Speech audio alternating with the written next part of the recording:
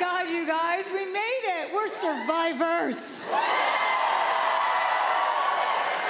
We survived a global pandemic, and now we're gonna pretend it's not happening anymore. And I am down with that. Oh, what an exciting time to be alive. Right? I mean, I don't wanna toot my own horn, you guys. But after the last two and a half, three years of watching everybody stuck inside their houses with their spouses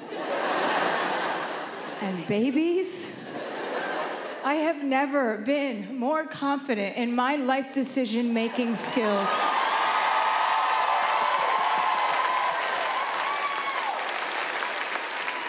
In remaining childless and alone. The entire reason that I have never had a child was on the off chance.